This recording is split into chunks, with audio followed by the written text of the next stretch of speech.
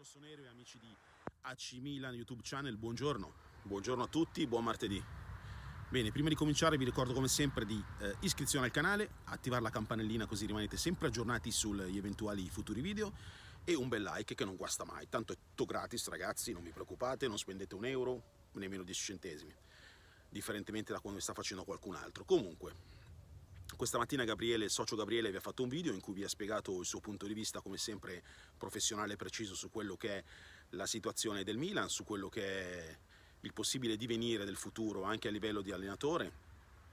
Vi ha parlato un po' della situazione Juventus-Vlaovic, che adesso andremo anche a, a parlarne anche noi, a fare una piccola precisazione per espletare un po' tutte le motivazioni e tutte le preoccupazioni che avete riguardo al fatto che loro comprano e noi no. Bene, la notizia principale però è sicuramente eh, quella che più mi preme, perché guardo in casa mia, guardiamo in casa nostra, è la proposta del Tottenham che si è fatto avanti per una cifra intorno ai 15-20 milioni di euro per avere subito che sì in questa sessione di mercato. La cosa secondo me è, è improbabile, è difficile soprattutto per il fatto che ehm, ci sono di mezzo sempre procuratori e il procuratore in quanto tale vuole lucrare e guadagnare su questa situazione.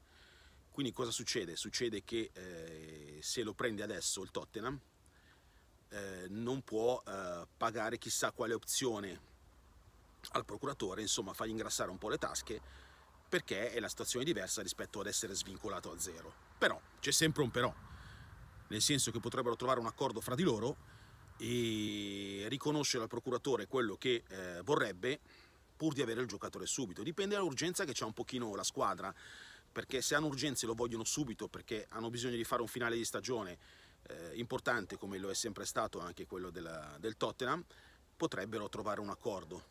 Spero solo che non vada a inficiare sul nostro introito che è già misero rispetto al valore reale del giocatore.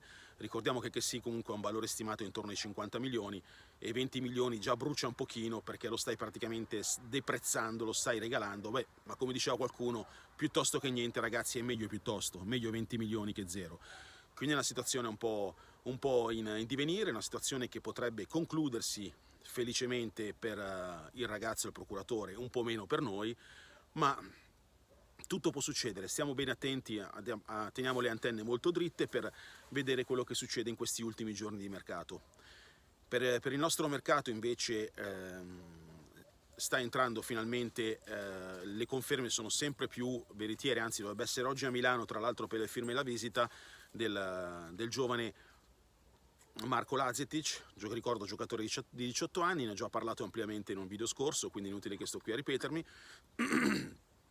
È un'aggiunta in più, un ragazzo che, un attaccante giovane fresco di 18 anni che si va a aggiungere alla rosa, viste le, le defezioni continue dei vari, dei vari giocatori, eh, soprattutto in attacco dove abbiamo più difficoltà, si potrebbe trovare una, una, bella, una bella, soluzione, diciamo, un giovane, un giovane di, di grandi prospettive che speriamo torni subito utile alla causa.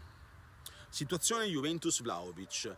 Molti dicono, eh ma basta, però non se ne può più una squadra indebitata come la Juventus, visto che è indebitata intorno ai 200 milioni di euro, non può permettersi di spendere 70 milioni per Vlaovic e non può pagargli un ingaggio da 7 milioni. Al netto delle cose sarebbe praticamente un affare da 100 milioni. Com'è possibile che la Juve possa fare questo? È semplicemente possibile, ragazzi, perché la situazione Juve è totalmente diversa da quella del Milan. La Juve sono dieci anni che è costantemente in Champions League. Dieci anni, in dieci anni ha fatto, se non sbaglio, due o tre finali. Correggetemi se sbaglio, perché tanto non seguo la Juve, non me ne frega niente. Ha fatto due o tre finali.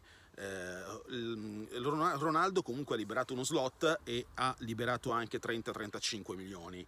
Quindi capiamo benissimo che con tutti gli introiti avuti in questi anni della Champions, tutti i campionati che ha vinto la Juve, Ragazzi, la Juve ha una situazione da questo punto di vista completamente diverso e si può permettere di fare quel tipo di mercato. Sì, se lo può permettere di fare. Differentemente da noi che sono anni che non siamo in Champions, anni che non vinciamo nulla e quindi abbiamo un pochino più di difficoltà. Nonostante i nostri conti sono comunque eh, sani, in questo momento sono sani e spero ovviamente che questo conduca a una vendita imminente della società. Però loro possono fare questo discorso proprio per questo motivo, perché hanno incassato più soldi, hanno avuto più disponibilità economiche e questo esula dal fatto che siano sotto i 200 milioni perché sicuramente hanno più possibilità di, ehm, di recuperare e di inserire eh, soldi freschi e questa sostanzialmente è la differenza fra il mercato possibile della Juve e il non mercato, anche se non lo giustifico, del Milan che, è, che è ancora ferma al palo aspettando di poter avere almeno anche un difensore. Bene, e questo è quanto per oggi. Eh, ho fatto un video breve giusto per fare due spiegazioni, anche perché la maggior parte delle cose le ha dette egregiamente Gabriele. Vi auguro buona giornata e sempre Forza Milan, ci sentiamo domani. Ciao ragazzi a tutti.